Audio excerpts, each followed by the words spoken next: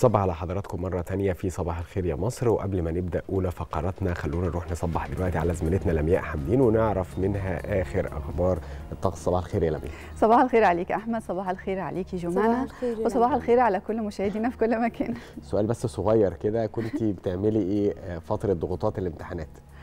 بص أنا هاخد منك آه، من كلامك آه، جزء آه بقيت هاخد قدوة. آه، لا أنا ه-. أنا طبعا.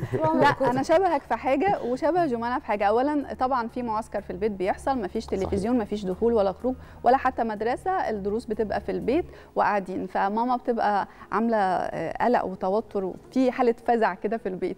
إنما أنا زيك في إيه؟ إن أنا ذاكرت خلاص.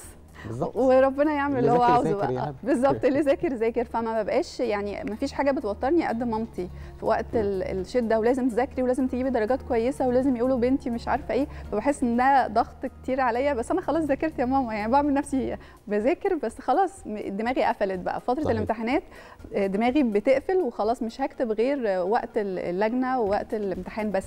مم. بس لكن ما بعملش أي حاجة تانية الحقيقة.